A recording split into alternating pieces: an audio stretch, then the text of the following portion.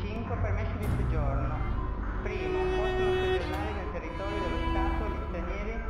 entrati regolarmente ai sensi dell'articolo 4 che siano muniti di carta di soggiorno o di permesso di soggiorno rilasciati